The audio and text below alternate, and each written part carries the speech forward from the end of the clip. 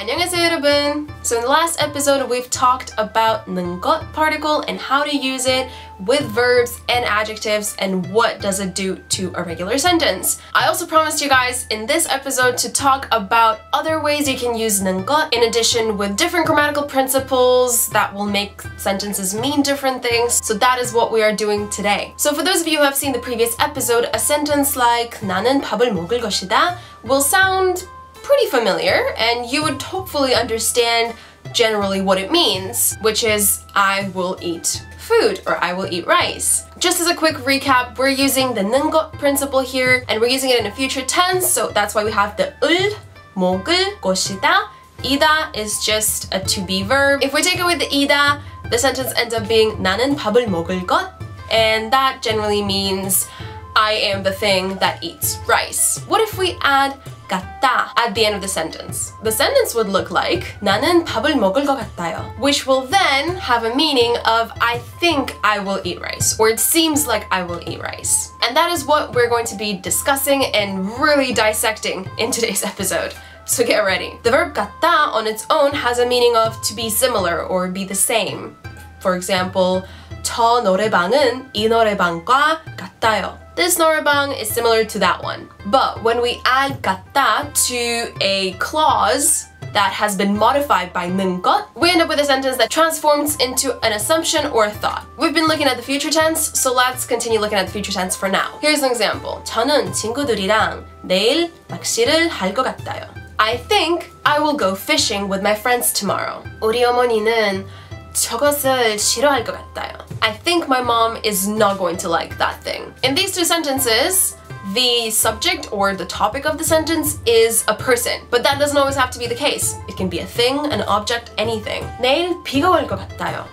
I think it's going to rain tomorrow. Rain is what you're talking about in the sentence, so it doesn't have to be a person or yourself, like 이 책이 재미있을 것 같아요. I think this book is going to be interesting. So here are a couple of things that I want you guys to remember. First, the topic of the sentence can be anything. A person, a thing, an object, anything. Second of all, it can be used with verbs and adjectives. So we can add 을 것 같아요 to anything, verbs or adjectives, like 할 것 같아요 or 재미있을 것 같아요. And third thing, it can be used to describe future, past, present, any tense. You can change the conjugation of the verb or the adjective with that little particle before got to indicate the tense. So we've already gone over future tense, you just add 을. So let's think 는 것 for now. In present tense from the last video, we know that we just add 는. Well, in this case, that's true, but it only works with verbs. For example, 엄마는 기다리고 있는 것 같아요. I think my mom is waiting for me. 기다리고 있는, 기다리고 있다, to be waiting at this moment. Yeah? So we add 는 and it's pretty straightforward. When it comes to adjectives though, in present tense, we don't add 는, unfortunately. Instead, we add 닌 or 은. So 친구가 아픈 것 같아요. I think my friend is hurt right now because 아프다 is an adjective and it describes a noun, 친구. Then we have to add 니은 or 은 depending on what the adjective ends on. So another example can be 그 음식은 건강에 나쁜 것 같아요. I think this food is bad for your health, for my health. Or this food is unhealthy. 나쁜, 나쁘다 means bad, and it's a descriptive verb or an adjective, so because it describes a noun, we gotta use the nian or un to modify and be able to use it with 것 같다. Please, please, please keep in mind the fact that ida, the verb to be, actually in this case behaves like an adjective, so we gotta add nian to it and turn it into in, in 것 같아요. So you can say something like 식사가 한식인 것 같아요. I think this food is Korean food. Whew, now moving on to past tense, which should be now much simpler because in past tense, anything, verbs or adjectives, we just add the nian or un to. So we end up with something like 부장님이 그 일을 이미 다 한 것 같아요. The boss has already done all the work, or the boss already did all the work. With all of this future, present, past tense mess, I just want to point out something really important for you guys that you must keep in mind.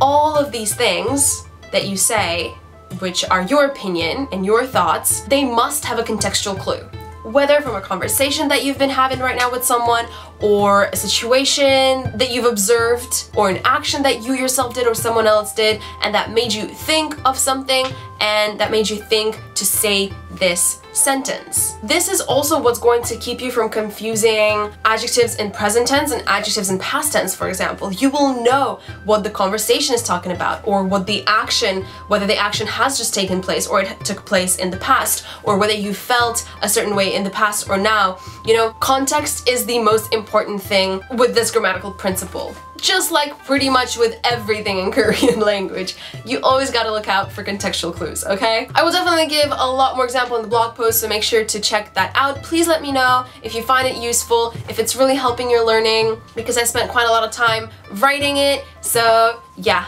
just give me your thoughts on it in the comment section. And actually tell me if you're able to comment on my blog posts because I feel like you can't and I'm trying to figure out how to make that happen. So please bear with me and please let me know how it looks on your end, okay? I hope this video was helpful and wasn't too confusing. Please let me know if you have any questions. Native Korean speakers and tutors, please let me know if I made any mistakes or explained something incorrectly because this is quite a difficult concept and it did take me some time to grasp so I really hope that I am on right track with this. With that said, I hope you all have a wonderful upcoming weekend and I will see you all next week. Bye! Annyeong!